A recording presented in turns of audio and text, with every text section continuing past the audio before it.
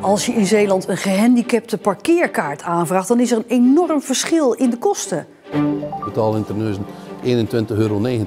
Er zijn gemeentes die tot 20 keer meer vragen voor die kaart. En verder in deze Zeeland nu.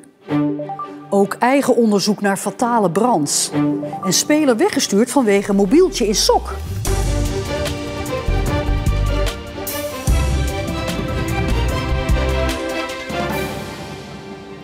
Maar we beginnen eerst bij de Olympische Spelen op naar Parijs, waar kitesurfster Anneloes Lammerts uit Schuddebeurs een bronzen medaille heeft behaald. De eerste Zeeuwse medaille in jaren. En vanavond wordt ze gehuldigd in het Team NL House. En ja, daar willen we natuurlijk bij zijn. Dus op naar Parijs. Om op Zeeland verslaggever Tom Druppers en cameraman Sebastian Hoekman. Waar zijn jullie nu? Ja, bonjour uh, Ariane. Wij staan op dit moment in Compiègne. Dat is uh, een plaatsje zo'n 80 kilometer ten noordoosten van Parijs. Uh, wielerliefhebbers die zullen Compiègne waarschijnlijk kennen van de kasseien-klassieker Parijs-Roubaix. Want die start die is hier, nou ik denk 200 meter ongeveer vandaan.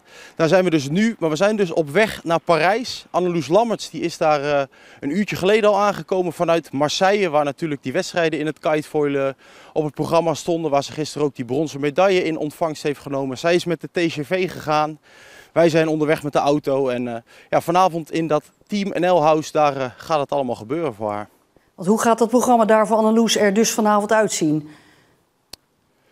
Nou, om een kwart over tien dan is de huldiging van de sporters. Dan zullen zij hun uh, medailles mogen laten zien aan het publiek. Ja, en voor de rest uh, is het eigenlijk gewoon een, uh, een avond die ja, feestelijk is aangekleed. Er zijn Nederlandse DJ's die, die komen. Want al die adrenaline van de sporters die ze de afgelopen weken hebben opgebouwd, die, die moet eruit. En dat kan nog wel eens tot in de late uurtjes duren, denk ik.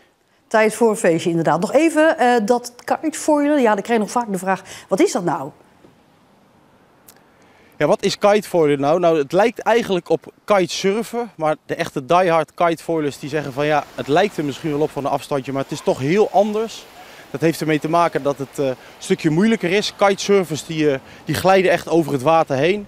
Kitefoilers die zweven echt over het water. Dat heeft er weer te maken met het bord dat een soort uh, vleugel heeft. Nou, en uh, ja, zweven, dat doet uh, Lammers op dit moment zeker. Want zij is, ik denk, nou ja, gisteren zweefde ze over het water in Marseille. Nu is ze denk ik heel erg hoog in de wolken vanwege die bronzen medaille. Kunnen we ons iets bij voorstellen. Tom Druppers en ook Sebastian Hoekman. Heel veel succes en plezier vanavond natuurlijk. Samen met Anneloes Lammers. En de beelden van de huldiging zijn uiteraard morgen te zien en te horen op onze site en in ons nieuws.